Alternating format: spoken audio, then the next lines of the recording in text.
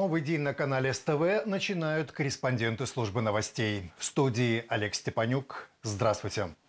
По маршруту «Шелкового пути» сегодня представители сразу 15 стран, по которому он проходит, соберутся в Минске. Акцент будет сделан на продвижении новых идей. Почти год назад при поддержке Министерства науки и техники Китая была создана специальная ассоциация для развития инновационной инфраструктуры и расширения сотрудничества между странами, находящимися на маршруте «Шелкового пути». Встреча ее партнеров Беларуси станет первой после майского форума «Один пояс и один путь в Пекине».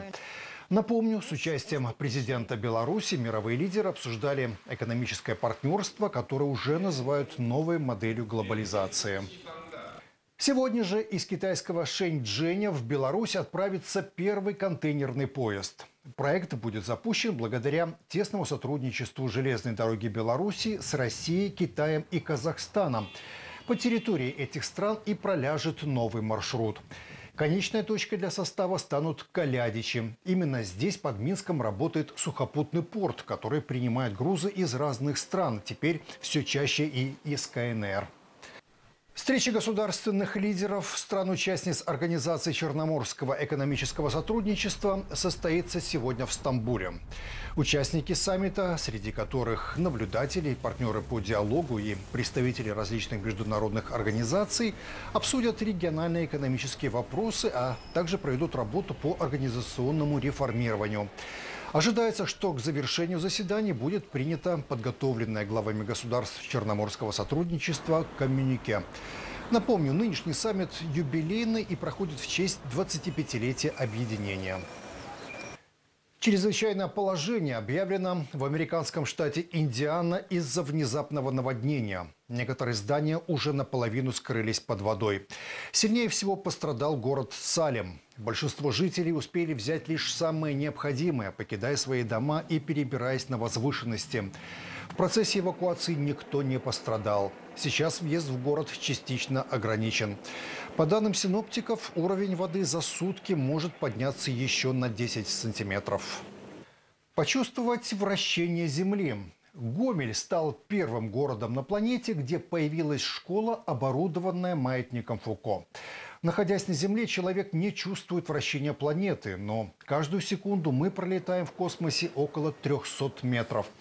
Впервые наглядно это продемонстрировал в XIX веке на опыте с гигантским маятником французский физик Жан-Бернар Леон Фуко. Сегодня на планете существует порядка 30 подобных устройств. Этот маятник стал третьим в Беларуси, но при этом он самый тяжелый в мире. Масса шара 60 килограммов.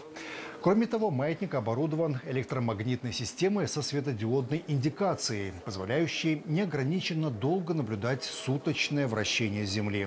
У нас в школе появился маятник. Он нужен, чтобы понять, как вертится Земля и как устроен мир. Уникальность нашего маятника еще в том, что он самый большой в мире. Высота подвеса 12,5 метров, но шар весит 60 килограмм. А аналогов сегодня нет. В планах администрации превратить атриум школы в образовательный центр по изучению астрономии.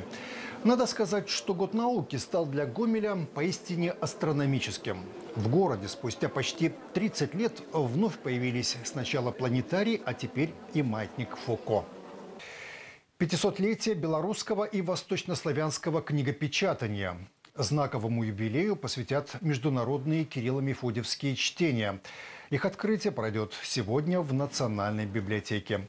Светские и церковные научные деятели обсудят влияние религии и письменности на формирование славянской культуры.